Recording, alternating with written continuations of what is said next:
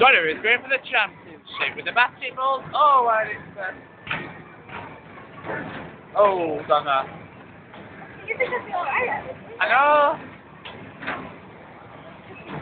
Oh.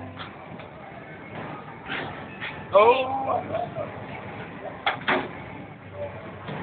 Yay! Yay!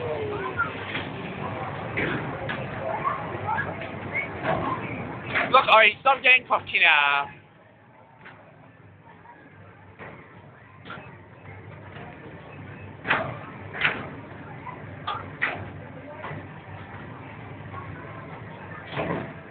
Yeah. What did you go? See. How do you feel after spending an hour? Mate? Check. Cheers.